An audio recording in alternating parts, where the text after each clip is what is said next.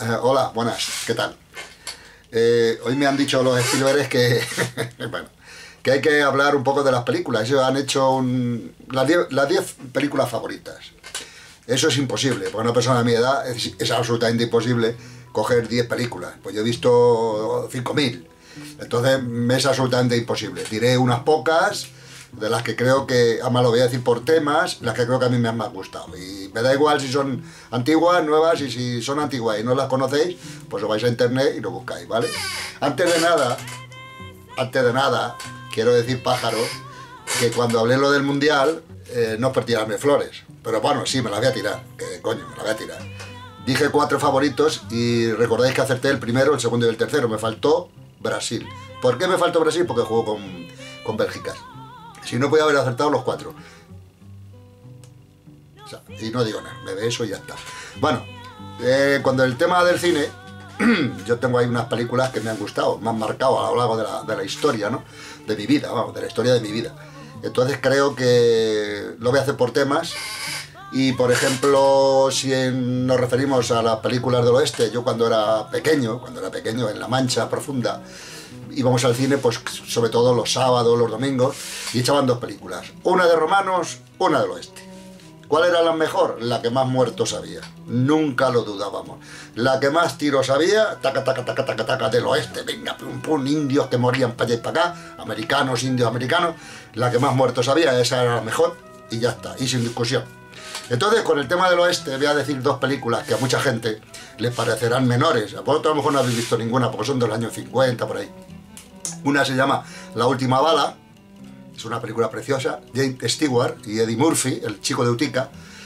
Es una película, no tiene mucha historia, unos malos, unos buenos, James Stewart que va tocando el acordeón, el chico de Utica que es malo, al final el otro le va a pegar un tiro y le dice toma mi pistola que queda una bala y el otro le mata al otro, una película extraordinaria, una cosa, caen las lágrimas, que es demasiado. Otra película muy bonita del oeste. Os recomiendo a la gente joven que las veáis, porque las películas son muy bonitas, están muy bien hechas y son muy bonitas.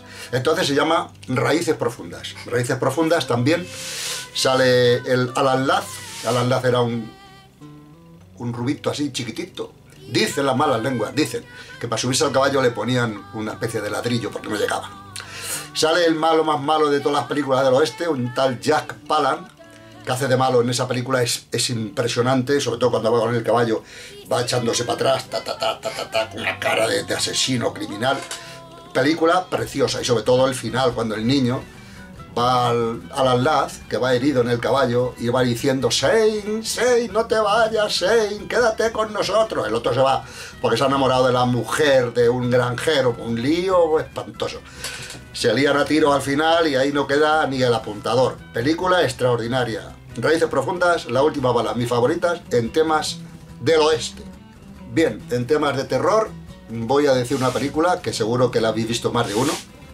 Se llama Cube, se pronuncia Cube o Cube. Es una película absolutamente claustrofóbica, da miedo de verdad. A mí me daba miedo porque yo pensaba que si yo estoy en una situación como esa me había muerto al primer cuadrado. Es una máquina, es un tipo que inventa una máquina que da vueltas y da vueltas y está basada en el cubo de Rubik. Por aquí tenía un, el cubo de Rubik. Aquí, mira. Lo he cogido de improviso. Esto era el cubo de Rubik y entonces era una máquina que tú te metías dentro y estabas dentro de un agujerito de estos, un cuadradito. Entonces la máquina se movía, y de, de buenas a primeras te encontrabas en otro agujero, en otro cuadrado, con otra persona que estaba allí. No se sabe por qué entraban, no se sabe por qué, al final te lo explican, es un tipo que está loco y dice, coger, cogía gente al azar y las metía aquí, en el cubo de Rubik, ¿vale? Se llama la película Cube, y la verdad es que es extraordinariamente terrorífica para mí, no de miedo, de terror psicológico, de claustrofobia, de decirte, joder, como me pillen a mí en eso, me muero a los cinco minutos. Cube, no puedo dar más actores porque no son actores conocidos. Cube, C-V-E, Cube, no digo más. La veis y luego me lo contáis. Luego voy a hablar de otra, otras series de películas que son también muy extraordinarias, que son de dibujos animados. Bien, dibujos animados podemos hablar de Disney, todas las que queráis. Pero yo ya la vi de mayor, la vi de muy mayor, la vi de hace poco tiempo. Es una película que me gustó muchísimo, es preciosa. Se llama Gru, mi villano favorito. Es preciosa, no, no tiene por dónde cogerla. Es la transformación de una persona que es el mal, que es más malo que, que, Satanás, malo como el solo, malo como la carne el pescuezo. ¿Cómo se va transformando?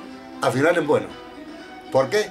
Pues bueno, pues una influencia de unos niños que le van haciendo bueno y el tipo se hace bueno y no hay más que darle vueltas, no tiene más. o sea, me van a decir, ¿y por qué este hombre no me habla más de Cube? De, Cube, de Gru, pues porque no hay más que hablar. Empieza el desarrollo y acaba. Y te dices, joder, qué película más bonita, qué rato más bueno me he echado. Gru, mi villano favorito. Mi favorita en dibujos animados. Sin contar, por supuesto, he dicho la de Disney, pero bueno, vamos a echar la de Disney, la ha visto todo el mundo. Esta a lo mejor no la habéis visto, ¿sabes? Los Minions, que son encantados, los Minions no te veas con ellos, de la risa. Y ya está, Gru, mi villano favorito.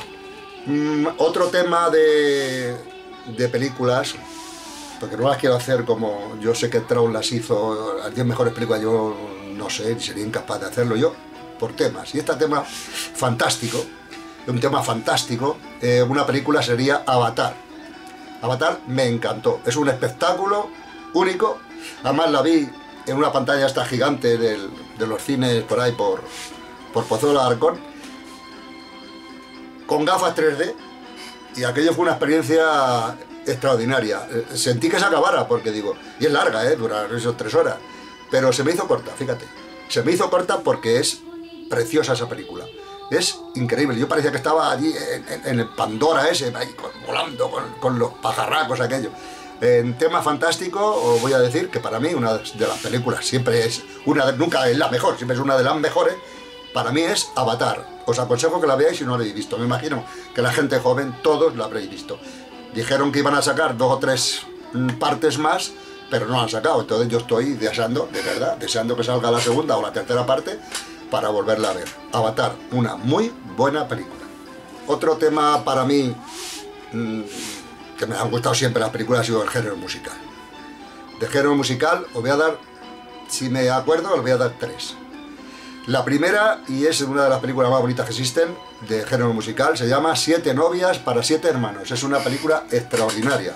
Está basada en el rastro de las Sabinas, pero bueno, eso te lo explicando en la película. Unos chicos que, no tienen novia, entonces no tienen novias y se raptan a siete chicas del pueblo y se las llevan allí a las montañas, mira por dónde cae una nevada del copón y se quedan ahí atados en, la casa, una cabaña que tenían allá arriba. Y los del pueblo pues intentan salvarlas y bueno, es espectacular. Yo creo, de todas las películas de musicales que he visto, el, baile con los troncos, cuando juegan los hermanos, mm, luchan bailando en, los troncos, en tronco con los del pueblo, eso es espectacular. Yo creo que nunca se ha vuelto a hacer un, un baile como aquel. Es espectacular. Otra película musical buenísima que no creo que la hayáis visto vosotros, porque es muy antigua también. Bueno, la del Siete Nuevas para Siete Hermanos, años 50. Esta de, se llama La leyenda de la ciudad sin nombre. Aquí en España se llamaba así. Allí era, sale Lee Marvin, no sé si las habéis visto, es, es musical preciosísimo, extraordinario. Un fondo dramático, tiene un, un, fondo, una puesta en escena extraordinaria y es una gran, gran, gran película. La he visto muchísimas veces. Y últimamente he visto una comedia musical que también me ha encantado, que es La La Land. No voy a decir nada porque me imagino que como es cursi y es muy romántica, me vais a decir que estoy gilipollas, pero es que es así. Me gusta La La Land, la vi en el cine y ya la he visto en la tele dos o tres veces. ¿Vale? Me gusta la banda sonora, me gusta la historia, me gusta la actuación, me gusta todo de La La Land. Y punto. Bueno, de otro tema que me gustaría también sacar una película favorita, en este caso van a ser tres, porque es del tema épico, épico, general. Entonces voy a, creo que de los, de todas las películas que he visto, eh, la trilogía del Señor de los Anillos creo que es extraordinaria. Es una película extraordinaria. Está todo logradísimo, está logrado, las actuaciones, está la mezcla sobre todo de los personajes reales con los personajes generados por ordenador, esa mezcla es extraordinaria, los asaltos a las ciudades. Bueno, no puedo hablar más que maravillas de esa película, me encantó las tres, no estoy hablando de ni una, las tres, que es un, es un todo, es decir, el 1, el 2 y el 3 es un todo, no, no puedes decir me gustó más la segunda que la tercera, es que no tiene sentido, ¿te gustan las tres o, no te gusta ninguna? ¿Vale? Yo tengo un amigo que no le gustó ninguna, vio la primera, ya la segunda nota y no le gustó. Pues vale, muy bien, pero a mí me ha gustado las tres. El Señor de los Anillos creo que es una, en género épico es de los mejores, si no la mejor, que se ha hecho en la historia del cine, señores. Lo digo yo, que de esto no entiendo ni una palabra. Bueno, os he nombrado al principio los géneros que se hacían en, cuando yo era chaval. Eran los géneros del oeste y el género de romanos. Hay una película de romanos que os aconsejo que veáis a todos los chavales que tengáis 20 años, que tengáis 30, que tengáis 15. Ben Hur, una película que no tiene, no se puede decir extraordinaria, es, es que es más que eso. Fue la película, de hecho ha, sido la película que más Oscar ha tenido a lo largo de toda la historia, hasta que la empató Titanic, me parece que fue. Es una película de romanos, en la historia, una historia de toda la vida, que si Cristo por aquí, que si nace, que si muere. Hay varias historias dentro de, lo que es la vida de aquella gente, ¿no?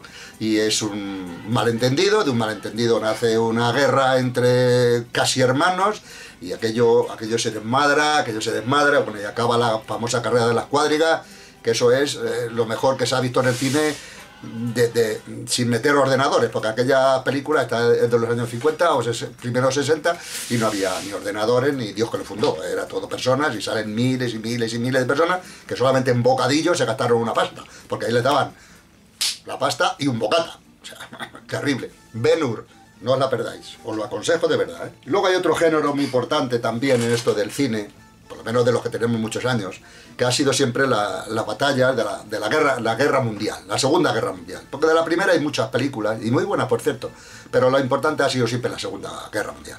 Ha habido muchas películas, muchas, muchas, muchas y buenísimas. Pero yo voy a decir dos que me han encantado.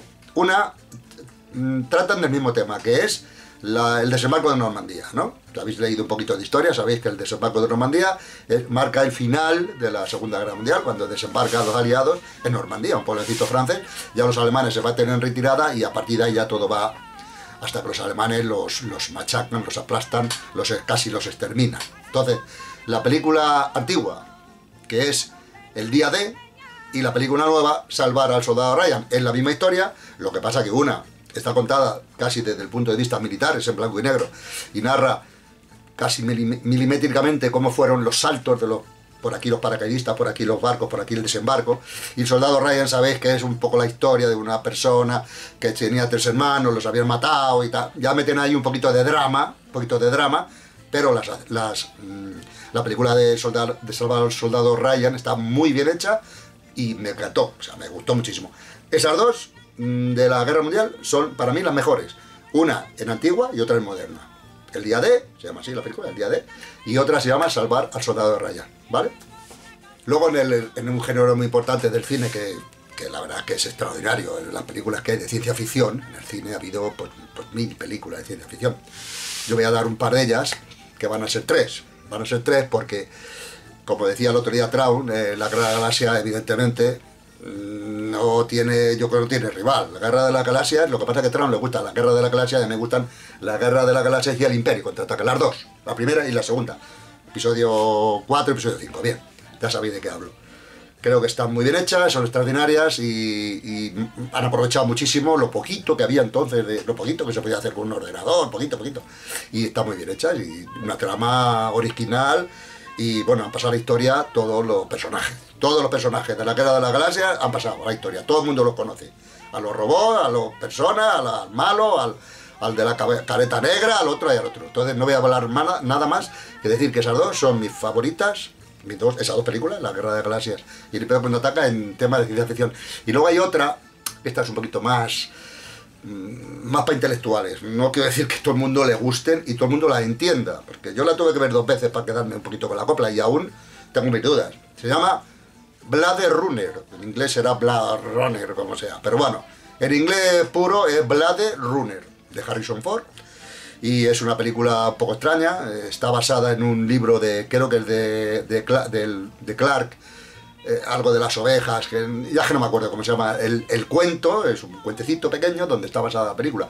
La película de Runner y es unos replicantes, unos robots con forma humana que tienen un poquito de sentimiento. Entonces al tener un poquito de sentimiento, no les quieres que les desconecten, porque esos robots ya tenían dos o cuatro años de vida, cuando pasaban eso había que desconectarlos. Y claro, uno dice que por aquí, que ya él es robot, pero que tiene sentimientos, y bueno, y es, una, es un dramón terrible está basada en una ciudad, creo que son, Los Ángeles, catastrófico, eh, casi postnuclear aquello, no se podía respirar, eh, bueno, un futuro asqueroso, que creo, por desgracia, que es el que nos espera, un futuro asqueroso.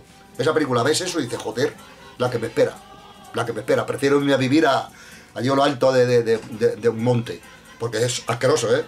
De verdad no hay nada bueno que se pueda decir de esa película, de no de la película en sí, sino de, lo que está representado allí, esa ciudad allí. es una cosa que, no tiene ni palabras. Es una película muy bonita, habla de Runner. Eh, por eso digo que de, la, de ciencia ficción, esas tres, no que digo que sean las mejores, digo que a mí las que más me gustan. Las mejores ya, esos doctores tienen la iglesia, yo no soy tan listo ni tan inteligente como para saber cuál es la mejor película. No soy tan listo. Cuando sea mejor pero ahora, de momento, mi cabeza no da para tanto. Bueno, creo, lo estoy hablando un poco de memoria, tampoco me hagáis mucho caso, porque creo que ya he dicho de los 10 temas. En vez de 10 películas, he dicho 10 temas, y de esos temas he sacado pues, una o dos, una o dos de, la, de lo que me ha, me ha gustado a mí. Evidentemente, eh, ya sabéis el que me conoce un poquito, que una de las películas más bonitas que existen de la historia del cine mundial es eh, Marcelino Panivino. Vais a decir, este es gilipollas, está con el Marcelino. Es que es una película muy bonita, coño. Es que es preciosa, es que es es que, es que, es que al niño ahí le ves que el otro un Cristo de madera allí que le, que le coge el pan y es que es una cosa que, eso hay que hacerlo y hay que verlo. Parece mentira, un Cristo de madera, hace con la mano y le coge el pan. Ah, que no somos tontos, ya sabemos, pero que está muy bonita, joder. Hacedme caso, Marcelino Pan y Vino. Y para los mexicanos voy a decir una cosa, que yo sé que hay un mexicano que me sigue por aquí. Todas las películas de Cantinflas, todas, ¿eh? No te voy a decir los nombres, sé que el padrecito, la que con eh, con eh, el, viaje, eh, viaje de 80 días, esta de, Julio Verne, que hace de torero. he visto muchas, no me acuerdo ahora mismo de los títulos, porque ya también cierto es, cierto es, que hace unos añitos que no veo ninguna de Cantinflas. Pero Mario Moreno Cantinflas, las películas de Mario Moreno Cantinflas son tendrían que estar más reconocidas a nivel mundial, porque estaban reconocidas a nivel mexicano. En España en aquellos tiempos todo el mundo iba a ver a Cantinflas, joder no, no se ponía una, que iba a la cantinfla, la, la hostia, más que Charlot. Pero en México yo creo que sí, sigue siendo un, ídolo. Y para mí eh, las películas de Cantinflas han sido de las mejores, no del cine, porque evidentemente grandes películas no eran, pero entrañables sí eran. Y además que como éramos niños cuando las veíamos, pues las recuerdo muy bien. ¿Vale? Entonces ya creo que con esto termino, no voy a daros más la vara. Y, y encantado siempre, encantado de estar aquí haciendo tiempo y haciendo tiempo para que cuando ya uno se haga viejo y ya pues, no valga para nada, pues ahí diga, mira, ya salía aquí hablando y decía no sé qué, no sé cuántas. Un abrazo, un beso, un apretón de manos, lo que queráis, repito siempre, y que lo paséis bien y que seáis felices. Y lo único importante, lo demás no vale para nada. Y que el rayo ya estamos en primera y a ver, si nos da alguna alegría, ¿vale? Venga, hasta luego, un abrazo para todos. Dale.